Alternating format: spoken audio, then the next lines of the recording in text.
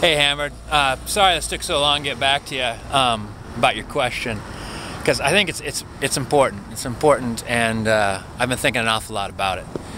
And uh, also, thank you for bringing that kind of question to me, because it shows like a certain amount of like uh, kind of like trust that I appreciate, um, and also it really kind of shows that you have a lot of faith in my intelligence. Uh, you know, my ability to handle that kind of information, and uh, you know, make some sense out of it. So. It took a long time to get to the answer because I wanted it to be uh, the perfect answer. Um, something that would make a whole lot of sense to you and like to anybody that had a similar kind of question. Um, so put my mind to it and uh,